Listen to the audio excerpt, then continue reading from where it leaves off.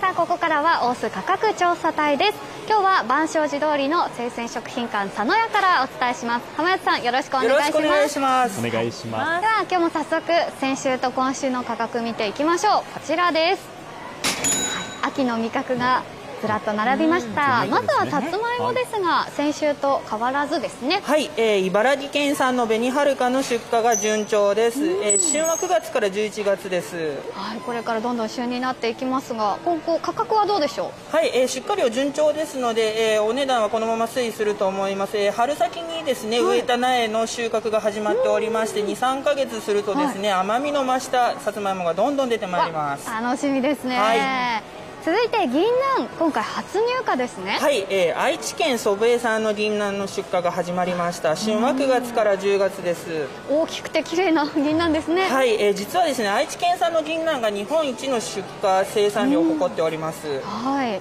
これは何か今後また違った銀杏出てくるそうですねこの後トークロというですね一番美味しいのが出てまいります。粒がですね二回り三回り大きくて銀あのえ茶碗蒸しですね。そういうところに入っててあの大きく美味しく召し上がっていただけるものが出てまいります。大きさ大体これとどれぐらい違うんですか、まあ、二回り三回りさらに四回りとかもすごいですそんなに大きいんですか？ね。はいわかりました、はい、続いて落花生今回初入荷となっています、はい。えー、愛知県知多産のですね落花生が出荷が始まりました、えー、本格的な旬は10月11月なんですが今新物絵が出ております、うん、こちらも大きいですよね、はい、どうやって食べるのがいいんですか、はい。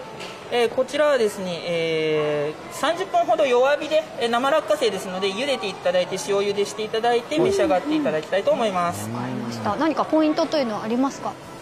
そうですね。あ、えー、軽くて浮きやすいので、うん、えー、鍋蓋落とし蓋を用意していただいて茹でてほしいと思います。はいぜひ皆さんも試してみてください、はい。そして栗今回初入荷ですねはい、えー、熊本県産の栗の出荷が始まりました。旬は9月から10月です。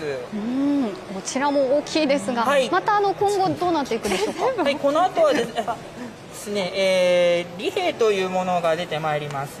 はい。こちらはですねポロタンというものです。こちらがポロタンというはい加熱するとですね、はい、皮があの殻がポロッとむけるところからポロタンと呼ばれております。うん可愛らしい名前ですね、はい、でさらにこの後はい、そうですね。という品種という甘みが強くて、あのスイーツとか、お菓子職人の方がご利用するようなものが出てまいりますので、ご利用いただけたらと思います。はい、楽しみにしています。はい、で今回初入荷のものいろいろありましたが、はい、価格はどうなっていきそうですか？そうですね、えー、出荷量順調に進めばですねお値段推移して安定していくと思います、はい、秋の味覚楽しみたいと思います、以上中継でした